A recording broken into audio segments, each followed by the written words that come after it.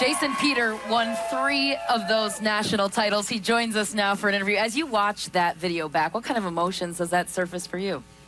It brings back a lot. Um, and then hearing that Coach Osborne had, had, talked to you guys yesterday, and, and obviously living here in the state, I'm able to, to, to see Coach and see a lot of the players. But uh, yeah, it was an exciting time. It was a, a great period of, of all of our lives, and, and especially for the fans here at Nebraska.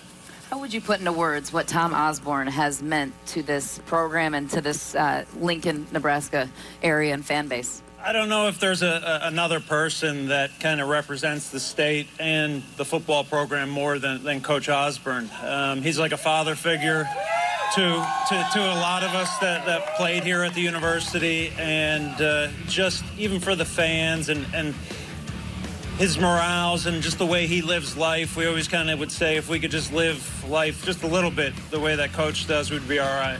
You won not one national championship, but three.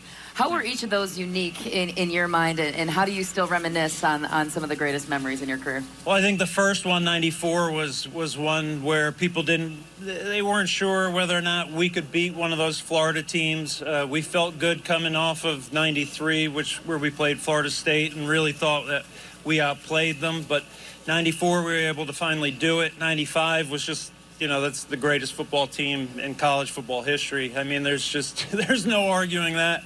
And then, uh, you know, 96, we kind of lost a couple games. We felt like we had the right team, though.